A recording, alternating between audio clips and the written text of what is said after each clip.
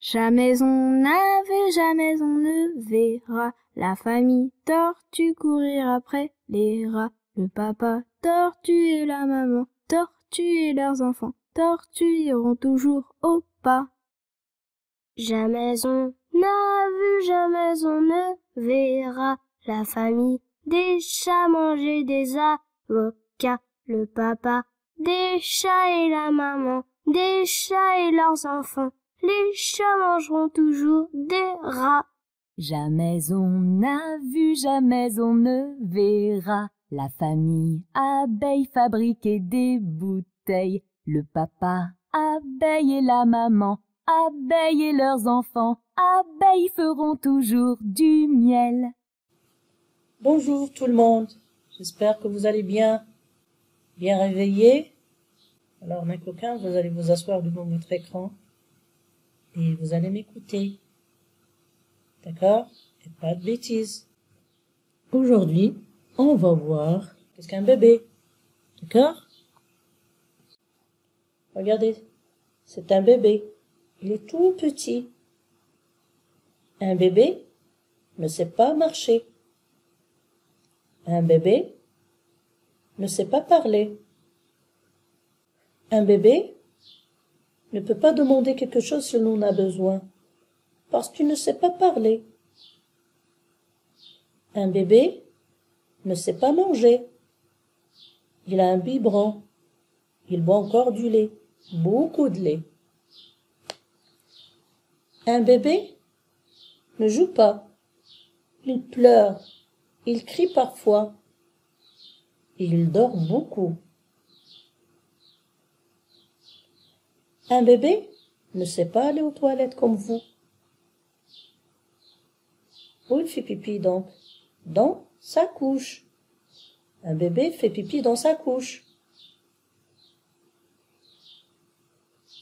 Vous savez pourquoi un bébé pleure souvent?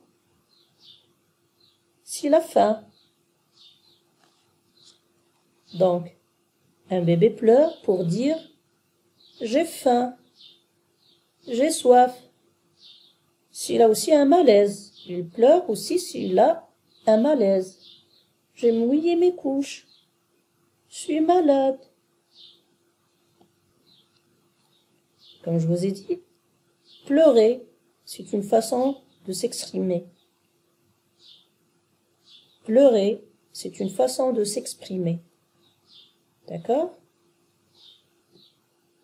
On va voir comment un bébé Alors on a dit un bébé a un biberon.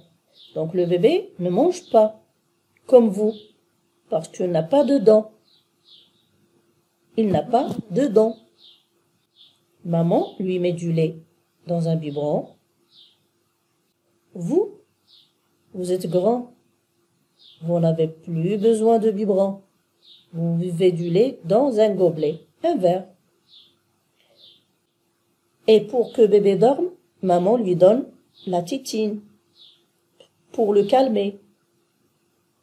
D'accord les enfants? Elle lui change aussi les couches. Hmm? Sans changer les couches, s'il est mouillé, il va pleurer tout le temps. Donc la maman est obligée de lui changer les couches.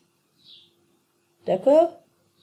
Un bébé dort profondément si s'il est rassasié, s'il n'a plus faim, s'il n'a plus soif, s'il n'est pas mouillé, s'il n'est pas malade. D'accord les enfants? Est-ce que vous pouvez prendre un bébé dans vos bras? Non. Vous risquez de lui faire du mal, car le bébé est trop fragile. Il est encore tout petit. D'accord? C'est que papa, maman et ceux qui sont grands peuvent le prendre dans leurs bras. D'accord? Vous aussi, vous étiez bébé. Maintenant, vous êtes grand. Vous partez déjà à l'école.